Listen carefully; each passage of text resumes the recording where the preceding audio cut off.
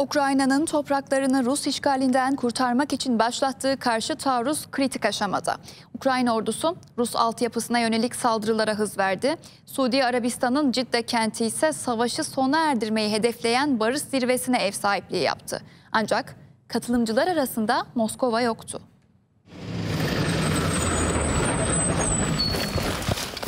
Ukrayna ordusunun karşı taarruzu artık ikinci ayında. İstenen ilerleme henüz sağlanabilmiş değil. Ancak Rusya'nın altyapısına yönelik saldırılar hız kazandı.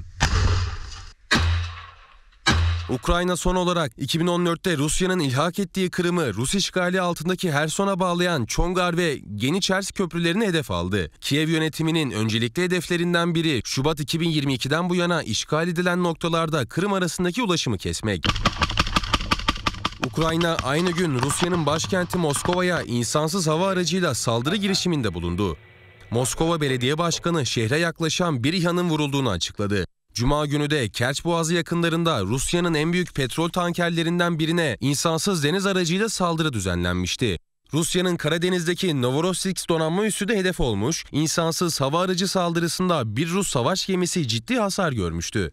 Kiev yönetimi bu tarz saldırıların devam edeceği sinyalini verdi. Ukrayna Güvenlik Servisi Başkanı Rus gemilerini ve köprüleri hedef alan saldırıların mantıklı ve etkili bir adım olduğunu söyledi. Eğer bu saldırıların durmasını istiyorlarsa Ukrayna topraklarını terk etmeliler diye konuştu. Ukrayna Cumhurbaşkanı Volodymyr Zelenski ise lokasyonu gizli tutulan bir askeri üssü ziyaret etti. Batı'nın tedarik ettiği savunma sistemlerini denetledi.